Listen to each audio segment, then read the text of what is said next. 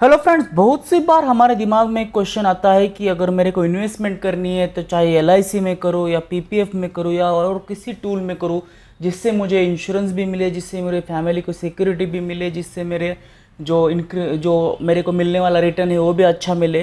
तो ये सारी चीज़ें सोचने के बाद सबसे पहले जो कंपैरिजन मन में आता है कि पीपीएफ और LIC में बेहतरीन क्या है। तो यहाँ पे सीधा चार या पाँच बेसिक पॉइंट्स के ऊपर मैं आपको एकदम आसानी से समझाने वाला हूँ कि अगर आप की डायरेक्शन क्या है उस तरीके से आपको कौन सा प्लान लेना सबसे पहले पीपीएफ ए जो है एक दीर्घकालिक ऋण योजना है जिससे अधिकांश सेवानिवृत्त निगमों के लिए पसंद किया जाता है। यानी कि जो लॉन्ग टर्म यानी कि 15, 20, 25 साल रखने के बाद जो रिटर्न्स मिलते हैं उसमें से अगर आप जो कॉर्पस क्रिएट करना चाहते हो तो उसके लिए पीपीएफ है। लेकिन LIC एक ऐसी चीज़ है जिसके थ्रू जो भी लाइफ में आपकी अनप्रेसिडेंटल जो भी चीज़ें हैं जो आपने कभी सोची नहीं होगी और वो अगर ऐसी कोई चीज़ होती है तो उसके बाद आपकी जो फैमिली है, उसको प्रोटेक्शन मिल जाए, इसके लिए एलआईसी बहुत इंपॉर्टेंट है। तो सबसे पहले बात यहाँ पे आपको देख लेना है कि आपको रिटर्न्स चाहिए या आपको फैमिली की सिक्योरिटी चाहिए और उस हिसाब से आपको आगे चलना है। दूसरी बात है यहाँ पे पीपीएफ में आपको कोई भी इंश्योरेंस या डेथ बेनिफिट एक्स्ट्रा नहीं मिलता है। जैसे कि एलआईसी में आपने जो भी डेथ बेनिफिट आपको डेथ बेनिफिट मिलता है, आपको जो भी बाकी सारे बेनिफिट्स है, जो अगर आप किसी कारणवश डेथ होती है तो आपको मिलता है। तो पीपीएफ में सिर्फ़ और सिर्फ़ आपने जितना पैसा जमा किया है, उसके ऊपर का इंटरेस्ट मिलता है और एलआईसी में आपको डेथ बेनिफिट्स के लिए आपकी जो भी अमाउंट है मैच्योरिटी की, वो आपको मिल जाती है।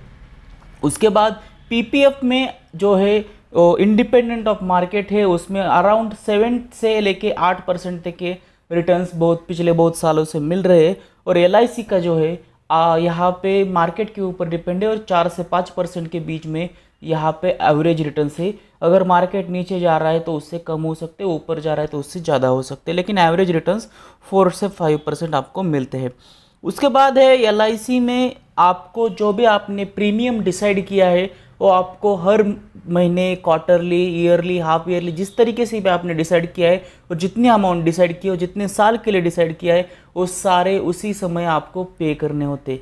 लेकिन पीपीएफ में ऐसी कोई चीज़ नहीं, आप मिनिमम पाँच सौ रुपये से लेके मैक्सिमम डेढ़ लाख रुपये तक के अमाउंट चाहे जितना, चाहे जब आप उसको डाल सकते हो आपके ऊपर सारी चीज़ें यहाँ पे डिपेंड है। यहाँ पे कोई भी आपके लिए इश्यूज़ नहीं है कि यही डेट पे आपको अमाउंट जहाँ पीपीएफ में डालनी है। तो यहाँ पे आपको फुल्ली फ्लेक्सिबिलिटी है। अमाउंट कब डालनी है, कहाँ पे इन्वेस्ट करने है, किस समय करने कितनी करनी है। लेकिन एलआईसी में आपके डेट के हिसाब से आपको चलना होगा। उसके बाद है यहाँ पे लिक्विडिटी तो पीपीएफ में जो है आप पाँच साल के बाद कुछ अमाउंट जो है लोन के ऊपर ले सकते हो। सात साल के बाद आपको कुछ अमाउंट जो है मिल जाती है twenty percent thirty percent of first two three years investment तो वहाँ पे बहुत सारे रूल्स है जो, जिसके लिए मैंने ऑलरेडी वीडियो बनाया है।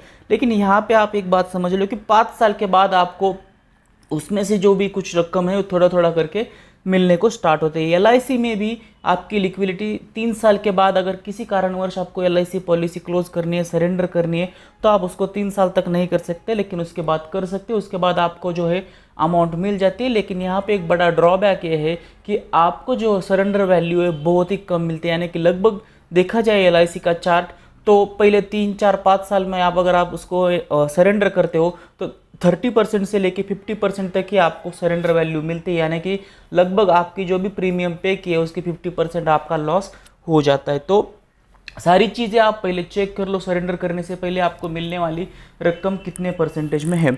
तो यहाँ पे ये सारे जो पॉइंट्स है, इस हिसाब से अगर देखा जाए तो कंक्लूजन में क्या आता है?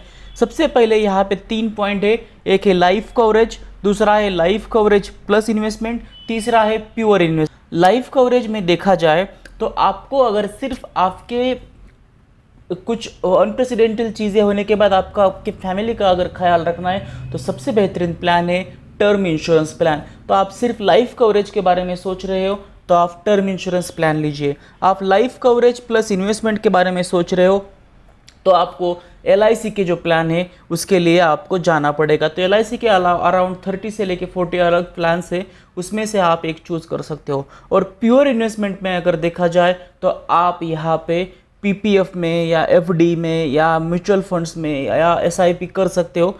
तो यहाँ पे इस तरीके से आप देख सकते हो कि पीपीएफ में जाना है तो आपको प्योर और प्योर इन्वेस्टमेंट और रिटर्न्स इसके बारे में सोचना है। एलआईसी में जाना है तो रिटर्न्स के बारे में ज़्यादा नहीं सोचना है, आपके फैमिली की सिक्योरिटी के लिए ज़्यादा सोचना है। इसके अलावा भी अगर आपके मन में कुछ डाउट्स है तो आप नीचे कमेंट बॉक्स में कमेंट करके पूछ